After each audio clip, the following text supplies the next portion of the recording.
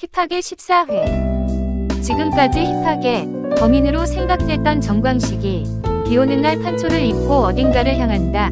하지만 그때 누군가 광식을 칼로 찌르고 광식은 피투성이가 돼 예분이 있는 곳으로 와서 쓰러진다.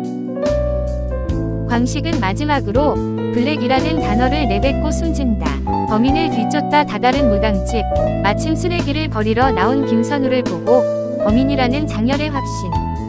거기에 선우 손에는 피까지 흐르고 있었다.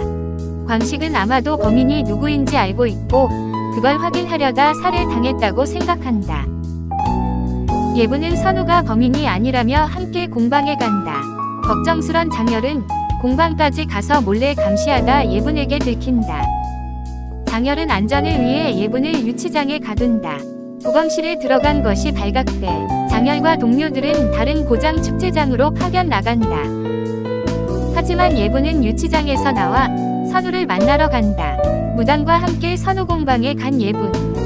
공부함에서 피 묻은 장미칼을 보게 된 예분, 놀라서 도망간다.